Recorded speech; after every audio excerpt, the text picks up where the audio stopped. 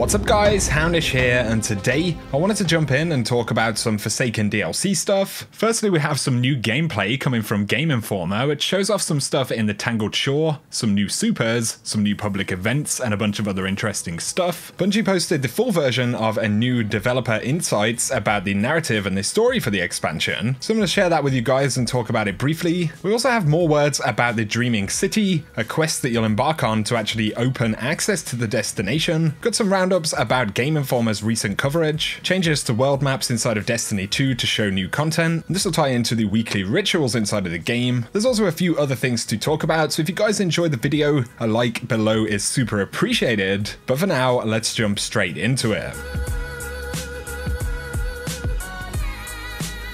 So firstly, I mentioned some new gameplay. This does come from Game Informer and their exclusive coverage for the Forsaken expansion. We see some pretty cool cinematics inside of the Tangled Shore. We get to see inside of some of the buildings and some of the complicated structures, and a bunch of interesting and secretive looking stuff. We also see the Cryopod public event, and this is taking place in a particular area of the Tangled Shore with a bunch of legendary weapons that I believe we already saw in the E3 build, but we do see the new Hunter's Arcstrider super right there. We don't get too many details about it or anything like that, but we see it in action. We also see the Warlock in action momentarily, that's the new Arc Warlock. We get even more really cool gameplay cinematics around the Tangled Shore, and then we see the Hunter with the Fire Knife super. This particular version is a one and done super, and we can see that it does an absolute ton of damage to this boss in a lost sector. There are other very interesting bits of gameplay and things to take a look at inside of the video, so it's absolutely worth checking out. I will link the full original Game Informer video down below. Next up though, Bungie posted a new Narrative Insights trailer, and this is about the story and the campaign inside of the Forsaken DLC. There was a version of this that Game Informer had an exclusive of as well that I showed some images from, but now we can see the full version, so if you didn't have a chance to check it out, here it is. Also, there's some pretty dope music as well.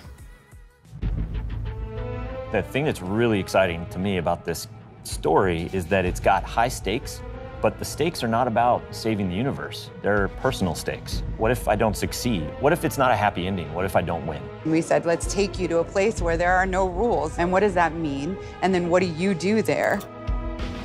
You know, you have to compromise your moral compass a little bit mm -hmm. uh, to see through this reckoning with the folks who killed Cayde 6.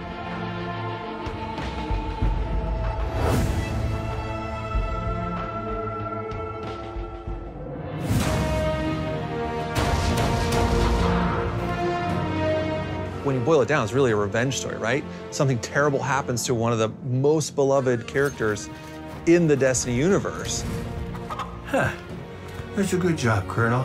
All the humor and fun and roguish charm that was uh, brought to bear, having that yanked away from us yeah. is unlike anything we've done in this franchise mm -hmm. yet. Anyone want a hug? Hugs? No?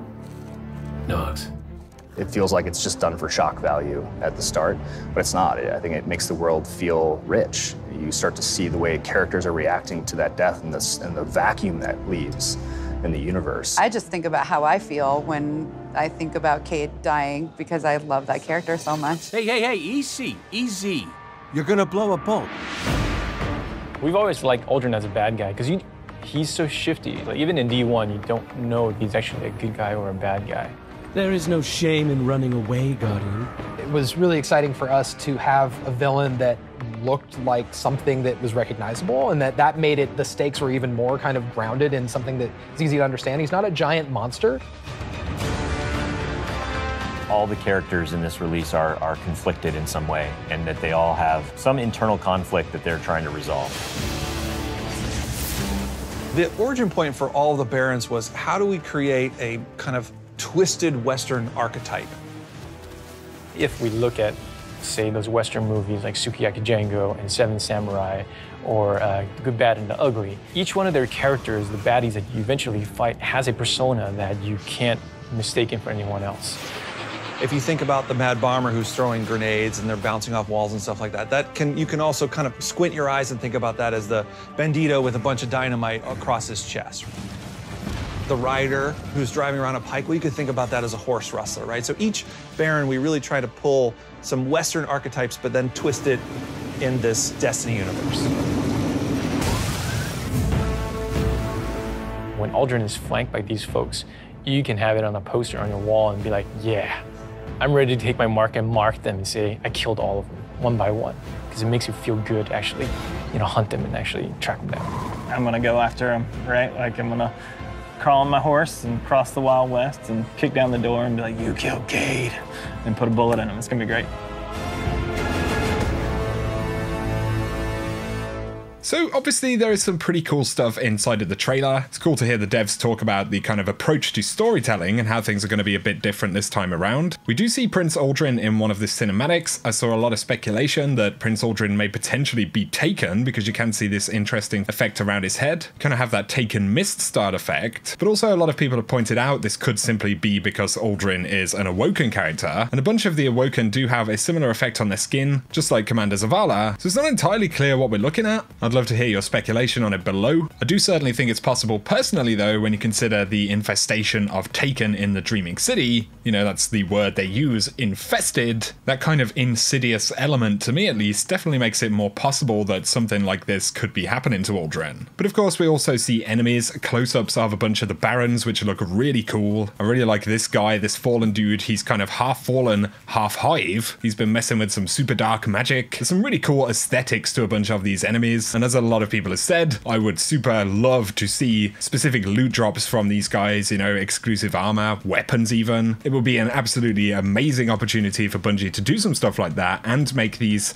replayable in the endgame potentially. But those are just my thoughts. I'd love to hear yours below and any thoughts about Bungie's latest video. Next though, we've heard quite a bit about the Dreaming City, but we haven't actually been able to see too much of it just yet. Although over time, details are beginning to emerge about this space, and we have some details about how the Dreaming City and the endgame element of the space is going to bridge into the campaign. Part of the concept of the Dreaming City is of course to provide endgame content, but also to provide a platform which actually encourages players to go into that space and engage with that content because there will be elements of this story which are revealed inside of this space. So Game Informer have said that you won't go into the Dreaming City during the main campaign for the game, but upon completing the main campaign portion, there will be a quest that you receive, and this is going to send you to reopen access to the destination. And that's the exact wording that Game Informer used, reopen access to the destination, which kind of gives us a bit of a hint to the story and what's going on. It suggests that there is a state of crisis inside of the Dreaming City. We also know that there is a taken infestation in this place, but Game Informer say when you're sent off on this quest after arriving for the very first time, you're immediately pulled into the Ascendant Realm. And so that's actually going to be one of the first things that you really see in the Dreaming City. But of course, the Ascendant Realm version isn't the main Dreaming City space, so it's kind of creating a little bit of aspiration because Game Informer say going forward, you'll discover how the destination exists in both planes, and it's going to take weeks to unravel the mystery. And presumably that's going to be a big part of the kind of story closure, exactly what's been going on for all of this time, because Bungie do say, despite the fact that the campaign will finish before you go to the Dreaming City, it is inside of this endgame space where you'll see the culmination of everything you've learned so far, and I guess understand what has ultimately caused everything that has happened. Of course, this is just the story component that they're giving us additional hints to right here, but we know that mechanically speaking, and in terms of actual content, there will be a three week cycle to how the Dreaming City is going to appear. So over time, this space is going to become visually different. Petra Venj is going to be a vendor and guiding character for Dreaming City, and she's going to be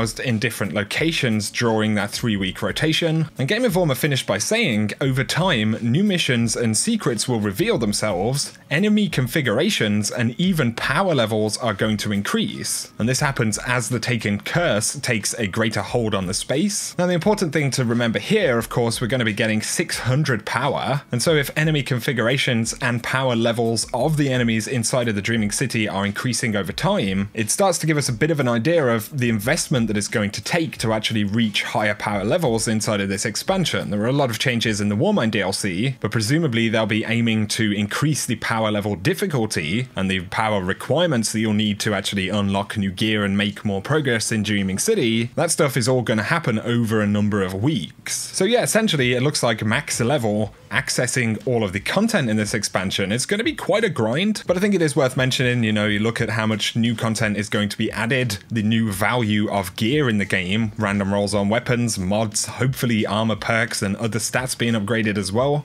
The grind does become, you know, more worth it and you're more incentivized to make those smaller amounts of progress at a time because you're constantly being rewarded in different ways. And so I think that's going to be really important in this expansion, but those words give us a solid idea about progression in the game, how we'll be required to engage with different types of content, and how new and more powerful rewards will become available over the course of weeks. But now I wanted to talk about a couple of different things. Game Informer, when they spoke about their time at Bungie, spoke a little bit about Destiny 3 and what some of the folks at Bungie are actually doing. So the podcast host actually said, You didn't see Luke Smith and Jason Jones working in some corner of the Bungie building, did you? And the guys from Game Informer actually said they work in a different building right now. They made mention of Destiny 3 and they kind of suggested that, you know, that is what those guys are working on separately from the current live Bungie team. Of course, that isn't official confirmation of anything, I just thought it was worth pointing out if any of you were interested. But we also got a few small insights into a few other systems that we'll see in the game. Things like triumphs. Game Informer said immediately there are different sections for character, destinations, events, gambit, PvP, vanguard, lore, and time worn labors. So these, of course, are different categories for progress, but time worn labors, they said specifically, are triumphs which are only trackable during certain time periods. And so that could include things like, I don't know, the Iron Banner or the Faction Rally. We could also have other things baked into it that get updated for, you know, timed events. But there will be a specific section which tracks more or less all of the event style stuff in the game. But there we go, guys. That is going to summarize today's video. I hope you have enjoyed it. If you have, a like is super appreciated below. Also, let me know your thoughts on any of the stuff we've spoken about in this video. If you are new to the channel, be sure to hit subscribe and hit that notification button as well, the bell icon next to the subscribe button. That way you won't miss out on any videos. Check out my sponsor Gamerlink. They have a fantastic LFG and clan app for Android and iOS. You can use it to find other players for raids, and nightfalls, trials, or whatever else it may be. But also it has really great clan features so you can build a persistent team, keep in touch, and plan gaming sessions with each other that way. You'll also get an awesome Houndish badge if you sign up for Gamerlink using the link below. So check that out if you're interested. For now though guys, I appreciate you watching as always, and I hope you have an awesome day.